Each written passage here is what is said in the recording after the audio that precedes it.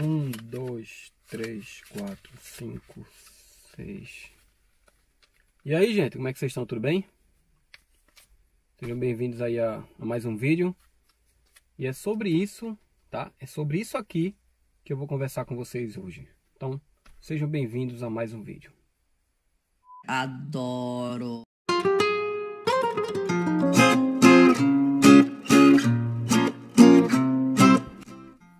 Fala rapaziada, sejam bem-vindos a mais um vídeo. Para quem não me conhece, eu sou o Guilherme, é, aqui do canal Espanha na Moral, tá? Hoje eu decidi gravar esse vídeo falando sobre a questão do dinheiro aqui na Espanha. Então, antes de tudo, eu vou guardar isso aqui, porque eu tô em uma mata, tô em uma área que era um campo abandonado e aqui vem muita gente. E esse dinheiro aqui não é nenhum dinheiro que eu quero mostrar para vocês na questão de ostentação, tá? Até porque isso aí é o meu salário e é o meu salário que vai ser pago o meu aluguel, a minha comida, a minha despesa, nada mais sobra para mim, tá? Então, sobre isso que eu quero falar, tá?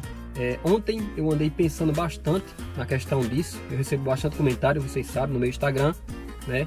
No Instagram do Espanha na Moral e também no meu WhatsApp. Então eu decidi gravar esse vídeo porque eu recebo bastante mensagem mensagens de pessoas que me perguntam, Guilherme, quanto que dá para ter de dinheiro aí no mês? Quanto que eu ganho se eu fosse trabalhar no Globo? Quanto que eu ganho se eu fosse trabalhar na pintura? Quanto que eu ganho se eu fosse trabalhar de eletricista? E é uma das perguntas que eu mais recebo é quanto que eu ganho, quanto que eu ganharia, o quanto que eu posso ganhar. As pessoas simplesmente só enxergam o dinheiro. Só isso. Parece que o único objetivo das pessoas sair do Brasil para vir aqui para a Espanha é dinheiro. Dinheiro, né? Dizemos assim. Então, eu quero falar para vocês que isso não é o mais importante aqui, tá? Eu vim com essa mesma cabeça, eu vim com esse mesmo pensamento de sair do Brasil e ir para a Espanha ganhar dinheiro. Deixa eu ajeitar minha câmera, gente. Sair para o Brasil e ir para a Espanha ganhar dinheiro. Só que na minha chegada aqui, eu percebi que o dinheiro aqui ele não é a coisa mais importante. Ele é necessário, claro. Sem o dinheiro eu não como, sem o dinheiro eu não pago meu aluguel, sem o dinheiro eu não consigo fazer minhas coisas. Ele é muito importante, mas ele não é o mais importante. O problema dessa, dessas pessoas, ou de quase todas as pessoas, é sempre achar que o dinheiro vem em primeiro lugar. E quando a gente chega para morar em um país, em um país de primeiro mundo, em um país onde a qualidade de vida é extremamente alta, onde a segurança é total, a gente começa a perceber que não vale a pena se matar tanto na questão de ter só dinheiro, sabe? Tem muita gente, existe diversos tipos de, de pessoas, de tudo na vida. Existem pessoas que simplesmente querem ter o dinheiro para ostentar, para dizer que tem. Mas eu vou falar para vocês, gente. Eu estou na Espanha agora, esse mês agora faz três anos que eu estou na Espanha. E eu conheci muita gente aqui, né? Eu vivo trabalhando. Trabalhava de dia, trabalhava de noite. Eu conheci muita gente, eu fiz muitas amizades, eu trabalhei com muitos espanhóis. E eu posso falar para vocês, eu conheço gente aqui que tem muito dinheiro. Eu não estou falando de pouco, gente. Eu estou falando de muito dinheiro. E essas pessoas, por mais dinheiro que tenham, elas são infelizes. Eu vou citar um exemplo, gente. Eu trabalho com um rapaz que ele, ele trabalha na empresa junto comigo. Ele chega duas horas antes da gente. Ele faz duas horas extras todos os dias ele já tem, ele tem o melhor cargo da empresa, é quase que meio que um gerente da empresa. E, e quando ele sai do trabalho, ele trabalha o dia inteiro na obra, a gente chega de 7 da manhã para trabalhar, ele chega de 5. Ele chega todos os dias de 5 para preparar caminhão, para pre preparar mercadoria, para pre preparar aquilo. E, por exemplo, a gente tem um salário aí, uma média de 1.500 por mês. Esse rapaz ele recebe quase 3 mil por mês. Só que é o seguinte, é super vazio. É um cara super vazio. Esse cara ele não tem amigos, esse cara ele não tem vida, ele não sai para comer um restaurante, ele não sai para fazer uma viagem, esse cara ele não tem família, ele não tem ninguém por ele. Simplesmente alguém quando se aproxima é porque sabe que ele tem dinheiro e o que está acontecendo aqui é isso. As pessoas estão vindo para cá em busca simplesmente do dinheiro e vão, vão perceber que não vale a pena. Que não vale a pena. A coisa melhor da vida que tem aqui, quem se vive aqui na Espanha, é a tranquilidade, gente. Eu posso afirmar com todas as palavras. Porque com... começou a chover graças a Deus. Porque com o pouco salário que você ganha aqui, você consegue viver muito bem no país. Você consegue pagar seu aluguel, você consegue comprar sua comida, você consegue dar um passeio e não simplesmente acumular. Acumular. Até porque acumular aqui também não é possível, tá? Mesmo você ganhando um saláriozinho assim. Porque o que se ganha, gente, aqui, fica aqui. Muita gente me pergunta assim, Guilherme, eu posso mandar para o Brasil 500 euros por mês? Eu posso... Cara, você até pode mandar para o Brasil 500 euros por mês. Mas uma pessoa que chega aqui como um turista, que começa a viver uma vida trabalhando como uma pessoa ilegal, né, trabalhando sem documento, é, os salários geralmente, geralmente eles são mais baixos que o salário de uma pessoa que tem documento, porque eu já fui ilegal no país, eu já trabalhei é, um período sem a documentação, pouco, mas trabalhei, é, e o dinheiro, por exemplo, eu, eu ganhava na época 50, os outros ganhavam 70, né? O, o Tico, o meu amigo, ele trabalhava na época com um rapaz, ele ganhava 35, os outros ganhavam 60. E chegou uma época que, que o Tico ele ia pagar o aluguel e nem o dinheiro ele tinha para pagar o aluguel, trabalhando igual que os outros e recebia menos que os outros. Por quê? Porque é uma pessoa que está sem documentação, sem os papéis e ela não pode abrir a boca para exigir, eu quero ganhar igual que esse. Até porque a pessoa ele não sabia falar o idioma adequado, ele não tinha, ele não sabia a maneira que eles trabalhavam aqui, respeitando a forma que eles trabalhavam, o horário de comida deles, tudo isso. Então tudo conta. O que eu quero, o que eu quero falar para vocês nesse vídeo que a partir do momento que você pretende deixar o seu país, o Brasil, para sair para viver em um outro país, Espanha, Estados Unidos ou o que seja, vocês não pensem simplesmente no dinheiro. Busquem uma qualidade de vida melhor, tá? Os tempos passam. A, a gente tá ficando velho muito rápido. Eu lembro que alguns anos atrás, gente, eu tinha 17, 18 anos, eu tava uma vida, eu tava vivendo uma juventude. Hoje eu faço 40, né? Agora, dia 7 de outubro, eu faço 40 anos, sexta-feira. E eu comecei a perceber que o sentido da vida não é simplesmente se matar por ter dinheiro, porque o dinheiro ele acaba sempre. A gente recebe hoje, gente, amanhã a gente paga as contas e já está sem dinheiro de novo. Se a gente não fizer um pequeno esforço para começar a viver, para começar a realizar sonhos, as coisas nunca vão acontecer, tá? Essa, essa viagem agora do canal do Espanha na Moral, né? A gente vai fazer o norte da Espanha. Eu confesso para vocês com todas as letras, eu não tenho dinheiro para fazer essa viagem. E eu tô fazendo uma loucura, uma loucura que para muitos vão me dizer esse cara só pode ser louco. Eu tô eu larguei o meu primeiro emprego da Globo, eu tô largando o meu segundo emprego e, e pegando o pouco dinheiro que tem, que não me sobrou praticamente nada para fazer essa viagem. Tá? Eu tô pegando um empréstimo para complementar o dinheiro de fazer essa viagem, sem saber até como que eu vou conseguir pagar esse empréstimo. Mas simplesmente eu estou fazendo, sabe por quê, gente? Porque chegou uma época da minha vida, eu estou vivendo uma época agora que eu já não quero mais simplesmente segunda a segunda trabalhar, pegar, pagar e não viver. Essa é a famosa a, a, a, a corrida dos ratos. Ou você acorda para a vida e tenta buscar uma maneira de viver, pega a tua família, sai, vai em um restaurante, vai num, vai num camp, cara. Acampar é maravilhoso. Outro dia tem até um vídeo no canal, né, que a gente foi para Península. Eu vou deixar o vídeo aqui para vocês ver, em algum lugar aqui. A gente foi para Península. A gente passou um fim de semana na Península, não saiu caro. A gente, a gente nem tinha nada programado, a gente simplesmente eu dou um pouquinho, minha filha me deu um pouco, minha esposa me deu um pouco. A gente foi, conheceu um lugar lindo, maravilhoso. Ficamos em uma casa de, de, de madeira, um bangalô, né, que chama. Lindo, piscina, conhecemos um castelo maravilhoso, uma cidade linda.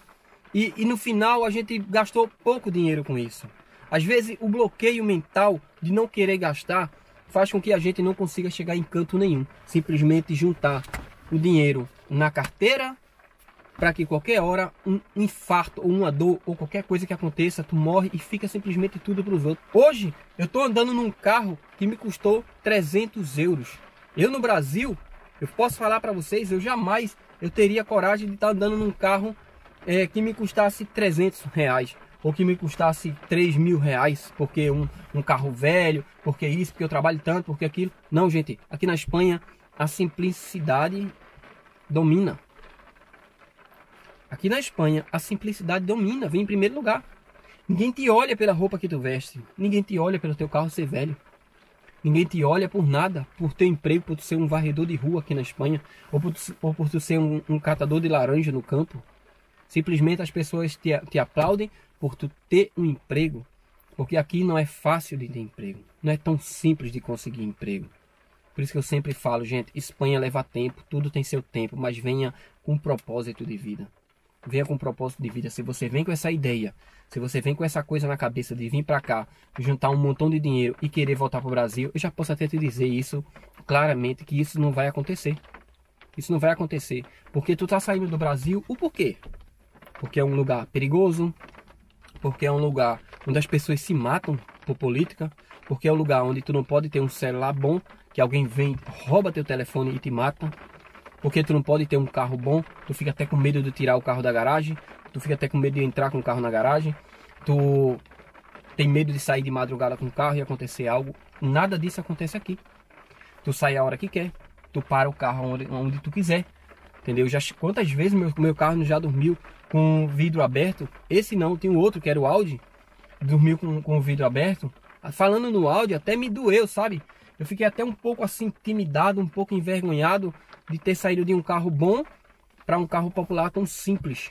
Mas eu, eu posso falar para vocês com todas as letras, gente. Eu tô tão feliz com esse carro que eu já tive vários carros no Brasil. Já tive dois aqui, eu tive um Peugeot 307 muito bom. Tive um Audi A4, né, que era 1.9 diesel. E agora eu tô com um Cossinha gasolina, um carro que me custou 300 reais.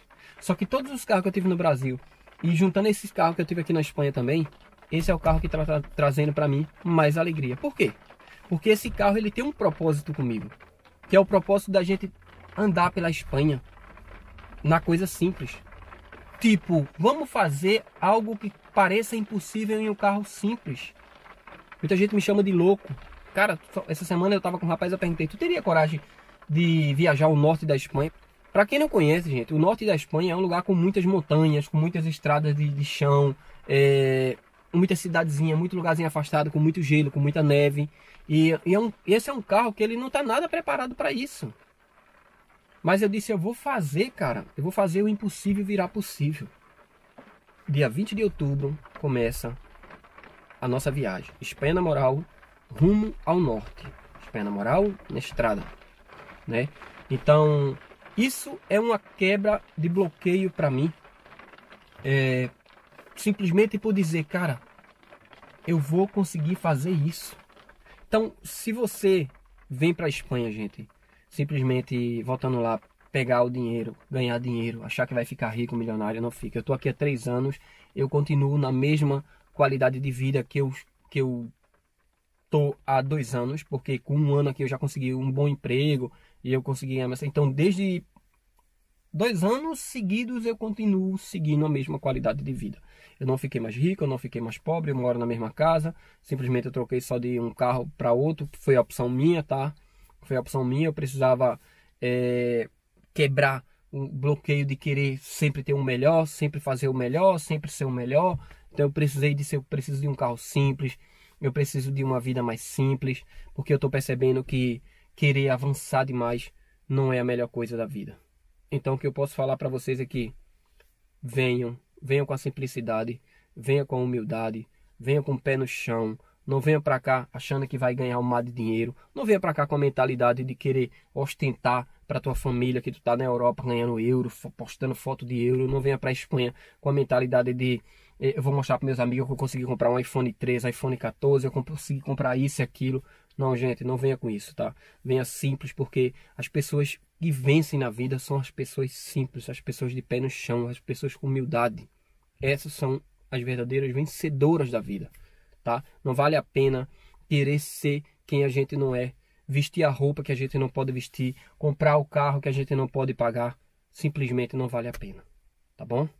Às vezes você vem para cá, você você vai ficar até impressionado quando você vê um espanhol com um carrão te chamando para sair, te chamando para beber, pagando coisa para você. Mas é, será que é porque ele, ele, ele gosta mesmo de você?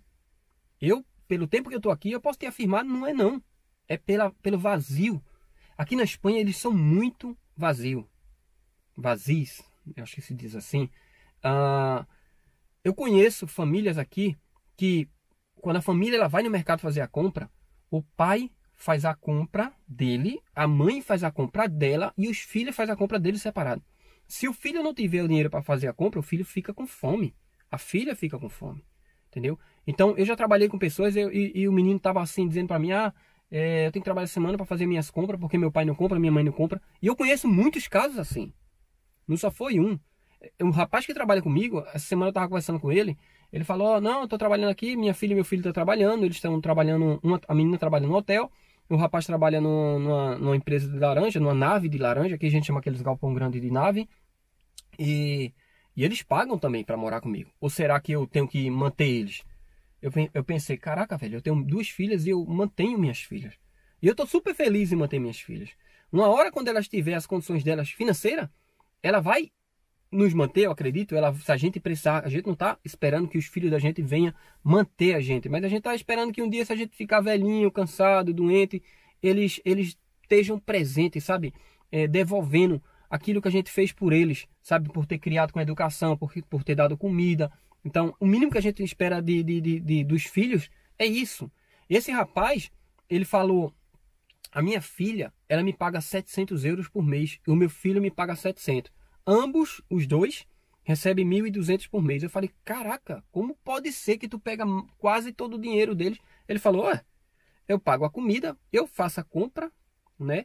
Para ela, eu faço a compra deles, e cada um tem um quarto. Eu falei, então eles estão pagando a comida, eles estão pagando o quarto, eles estão pagando a luz, eles estão pagando, porque 700 euros é muito dinheiro para uma pessoa que recebe 1.200, 700, 800, 900, 1.000, 1.100, 1.200. Ele fica com 500 euros para ele para eles viver. E o restante vai para o bolso do pai. Então aqui é dessa forma, gente. Os casais aqui, as famílias, né, o esposo, a mulher, é, eles, o cara tem muito essa coisa. Tu tem que dar isso, tu tem que dar aquilo, e eles não perguntam. Ou oh, você pode esse mês me dar, você pode esse mês pagar uma luz, ou você pode esse mês pagar o apartamento. Não. Ele exige, é como se fosse uma obrigação.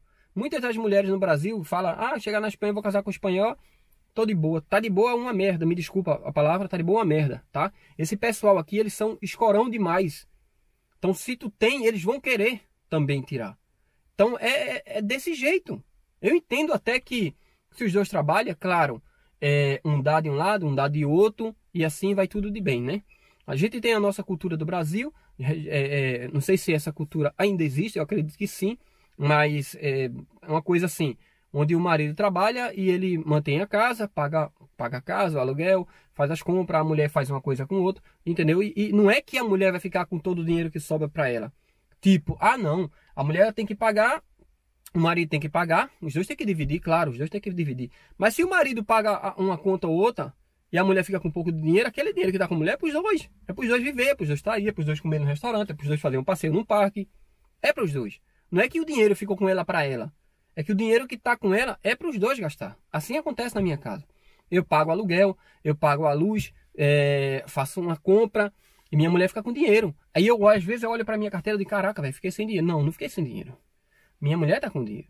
Então, se eu precisar, eu falo, ó, tô precisando fazer isso. Ela vai lá, me dá, ou compra, entendeu? Eu não tenho que estar tá ali simplesmente com a minha mulher, ou me dá dinheiro, ou me dá 400, me dá 500, me dá 300, eu tenho que pagar isso. Não. O que é meu é dela, o que é dela é meu. Entendeu? Então a gente no Brasil, a gente tem essa coisa. Então as mulheres vêm, ah, eu vou para Espanha, vou casar com o espanhol e a vida vai ser simples. Não, não é, gente. Tá? Sobre isso, não é. Eu acho que está um vazio muito grande é, nessas pessoas aqui, porque é um país que eu acredito, eu, eu vejo um país muito, como se diz, ateu. Um país muito ateu. As pessoas aqui não têm uma crença por Deus. Até porque os, os palavrões daqui é, eu não tenho, simplesmente eu não tenho coragem de falar nesse vídeo, eu não falo. É, é um palavrão terrível que eu prometi para mim que eu não falaria esse palavrão. Os palavrões aqui são xingando Deus. O cara leva uma topada, diz um palavrão com Deus. O cara derruba um copo no chão, xinga a, a, as coisas da igreja católica. E quando você vai falar de Deus, eles falam, não acredito. Eu tava trabalhando com um rapaz outro dia, eu falei, se Deus quiser, não sei o que, ele fez, quem? Deus, né? e começou a xingar Deus. Ele falou: se minha mulher quiser, porque é minha mulher que faz isso para mim, minha mulher que faz. Eu falei. Então eu sou um cara que eu não, eu não, eu não bato de cara, sabe?